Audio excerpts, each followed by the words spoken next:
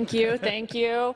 Uh, thank you to uh, a great leader on the Appropriations Committee, and I appreciate you yielding.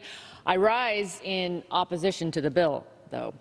Uh, while it contains many partisan poison pills and reckless levels of spending, there's a glaring omission, funding for the long-term storage of nuclear waste.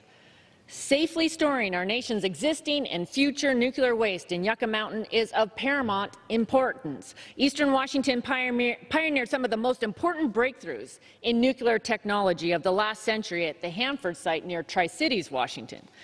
And their efforts are critical to continuing the development and the expansion of nuclear power in the next century. However, this important work came at a cost.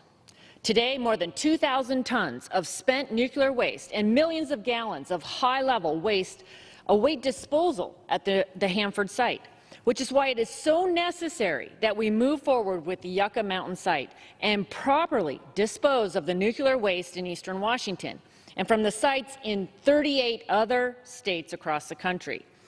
The United States has led the world in nuclear energy innovation and continued advancements in this important technology will be essential to meet our clean energy needs and maintain our global leadership in the 21st century. Failure to move forward with the Yucca Mountain site jeopardizes our ability to continue to innovate in the future and is unfair to the communities who have dealt with the cost of housing nuclear waste for the past 50 years. I'd like to end by thanking Congressman Shimkus for his years of tireless leadership on this important issue.